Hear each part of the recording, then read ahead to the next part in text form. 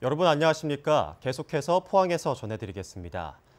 경북 동해안 지역은 오늘도 폭염 경보가 내려진 가운데 기온이 크게 오르겠습니다. 오늘 아침 최저 기온은 24에서 25도, 낮 최고 기온은 34도에서 39도 분포로 어제보다 높겠습니다. 이번 주말에는 열대야는 물론 낮 기온도 올여름 들어 가장 높을 것으로 예상돼 온열 질환에 주의가 필요합니다. 바다의 물결은 앞바다에서 0.5m로 낮게 일겠습니다.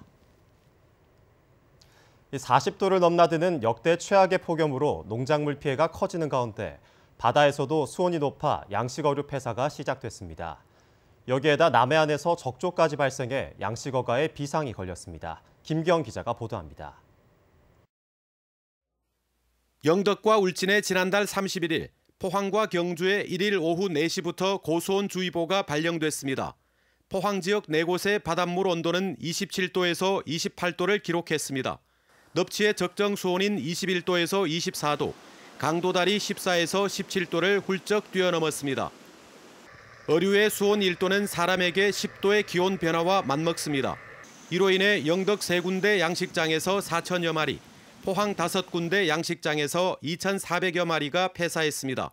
먹이 공급 중단과 어류 스트레스 최소화, 죽은 물고기의 신속한 처리 등 각별한 주의가 필요합니다. 피해 규모는 크지 않지만 그동안 어류의 면역력이 크게 약해져 있어 앞으로가 걱정입니다. 수온이 상승하면 일단 먹이 공급을 중단하고 수온을 낮출 수 있도록 여러 가지 노력을 해야 될 것 같습니다. 그리고 또 의료의 스트레스를 최소화해 가지고 사육 관리에 임하는 것이 좋을 것 같습니다. 고수온으로 가뜩이나 시름 깊은 양식어가에 적조까지 말썽입니다. 전남 고흥에서 경남 거제까지 남해안에 일주일 전 적조주의보도 발령돼 동해안 어민들도 초긴장 상태입니다. 포항시는 헬기와 어업 지도선을 동원해 적조 예찰에 나섰습니다.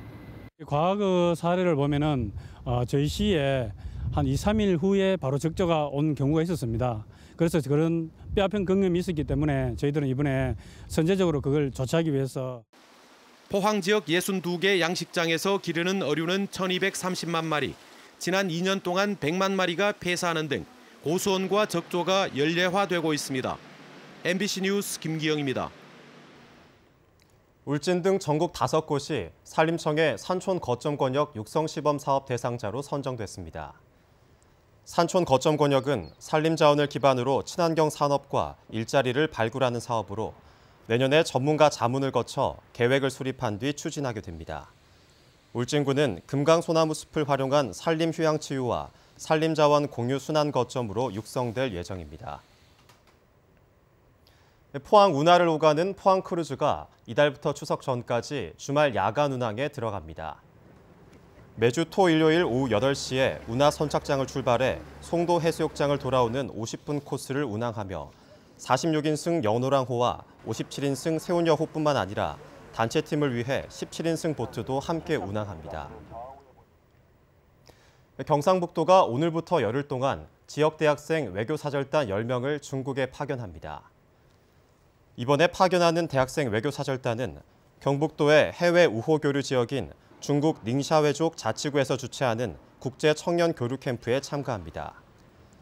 닝샤회족 자치구는 중국 서북부에 있는 고대 실크로드의 중심 지역이고 전통 중국 문화와 이국적 회족 문화가 어우러진 독특한 문화를 보존하고 계승하는 곳입니다.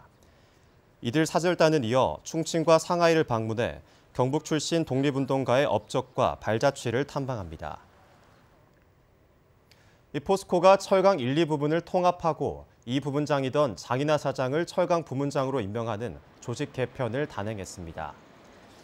이에 따라 철강 1 부문장이던 오인환 사장은 인재 창조 원장직을 맡고 장인화 오인환 사장은 내년 정기주주총회까지 대표이사직을 유지합니다. 포스코는 또 홍보실과 대외협력실의 국내 부분을 커뮤니케이션실로 통합하고 인사와 노무를 맡는 경영지원센터는 경영지원본부로 이름을 변경했습니다. 동북지방통계청에 따르면 지난달 경북의 소비자 물가지수는 전달에 비해 0.3% 상승했습니다. 품목별로는 시금치가 43.8% 급등했고 배추 23.7%, 돼지고기가 10.6% 상승했습니다. 대구의 지난달 소비자 물가지수도 전달에 비해 0.2% 상승했습니다.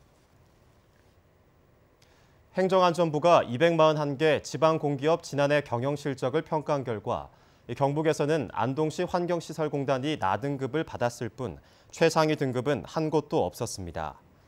중간 등급인 다등급에는 경북관광공사, 포항시, 문경시 시설관리공단이 평가됐습니다.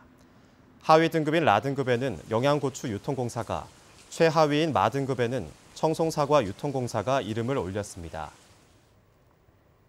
이상으로 포항 MBC 뉴스를 마칩니다. 여러분 고맙습니다.